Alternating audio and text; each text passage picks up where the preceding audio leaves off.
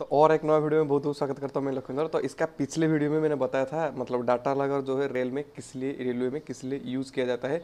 बिना कोई technical term का नाम लेते हुए मैंने आपके सामने रखा था कि डाटा लगर को रेलवे में किस लिए इस्तेमाल किया जाता है। अगर उस वीडियो को आपने अभी तक नहीं दिखा है तो नीचे मिल जाएगा लिंक उसमें जाके बिल्कुल आप फ्री में देख सकते हैं।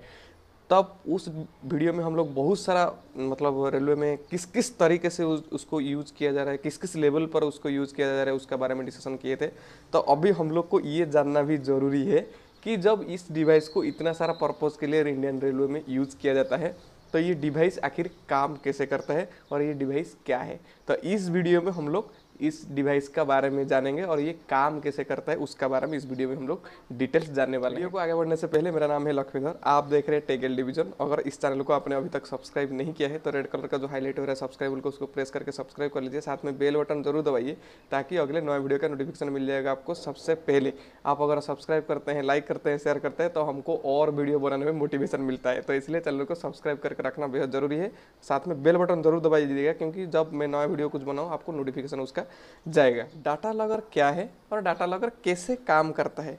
वो जानने से पहले हम लोग को दो चीज़ का बारे में थोड़ा सा आइडिया होना ज़रूरी है। और मैं फिर से आपको बोलना चाहता हूँ, मैं बिना कोई टेक्निकल टर्म या टेक्निकल वर्ड यूज़ करते हुए मैंने आपको इन जनरल बताऊँगा कि डाटा लगर क्या है और कैसे काम करता है। तो उस टॉपिक को जानने से पहले मैंने आपको दो चीज़ के बारे में बताना चाहूँगा। एक होता है सिग्नलिंग गियर्स दूसरा होता है सिग्नलिंग इक्विपमेंट्स या डिवाइस आप बोल सकते हैं।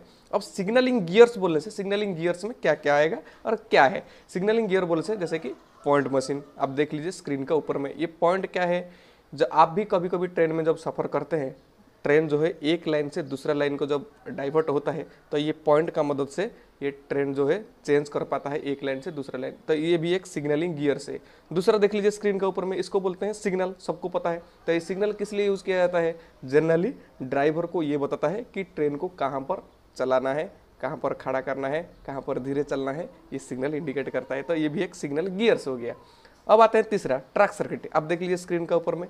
ट्रक सर्किट का काम क्या है कि जनरली ये डिटेक्ट करेगा ट्रेन का अराइवल और ट्रेन का डिपर्चर यानी उसका ऊपर में ट्रेन है या नहीं। है तो इसको भी यूज़ किया जाता है एज ए सिग्नल गियर अब आते हैं हम लोग सिग्नलिंग इक्विपमेंट या डिवाइस सिग्नल इक्विपमेंट बोलने से जैसे स्क्रीन का ऊपर में देख लीजिए, इसको बोलते हैं आईपीएस इसको अगर आप जनरल वे में समझना चाहेंगे तो ये जनरली जितना भी मैंने सिग्नलिंग गियर्स आपको बताया, पॉइंट बताया, सिग्नल बताया ट्रैक्सेट बताया, इसके लिए, इसका ऑपरेशन के लिए डिफरेंट डिफरेंट वोल्टेज होता है। वो जो वोल्टेज है जनरली आईपीएस से जाता है। आप इसको अगर अभी भी समझ में नहीं आ रहा है तो आप उसको ऐसे समझ लीजिए, जैसे घर पर हम लोग इन्वर्टर इस्तेमाल करते हैं पावर जाने के बाद यूज़ किया जाता है तो इसको भी आप ऐसे समझ लीजिए कि एक इन्वर्टर टाइप का काम करता है इंडियन रेलवे में।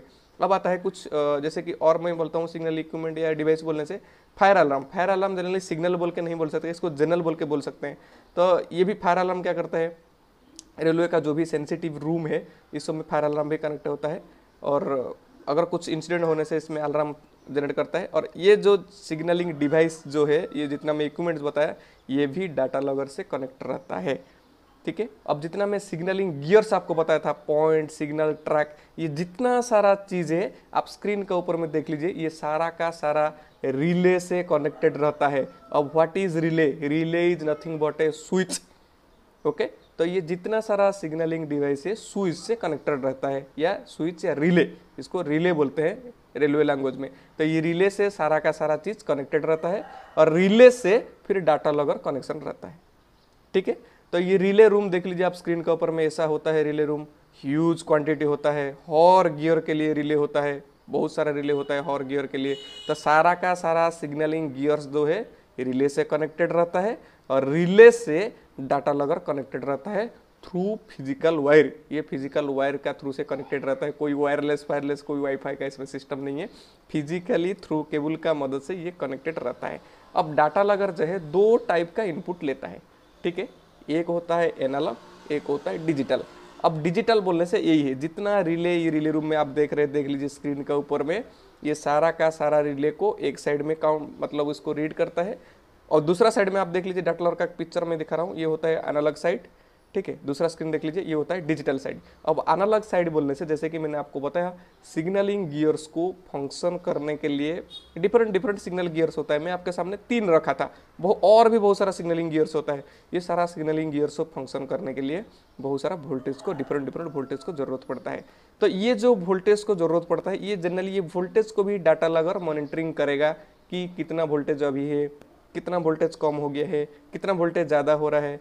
टाइम टू टाइम बिल्कुल एकदम मॉनिटरिंग कर सकते हैं हम लोग। देख सकते हैं जो भी रेलवे रिप्रेजेंटेटिव है, जो भी मेंटेनेंस टीम है वहाँ को वो लोग को ईजी हो जाएगा कि कौन सा वोल्टेज ड्रॉप हो रहा है, कौन सा वोल्टेज बढ़ रहा है, वो हो जाएगा। देख सकते हैं वहाँ पर। ऐसे ही डिजिटल में भी देख सकता है, अभी गियर्स का स्टाटस क्या है, ठीक है गियर्स दिन में कितना बार ऑपरेट हुआ है। अब बात आता है, देखेगा कहाँ?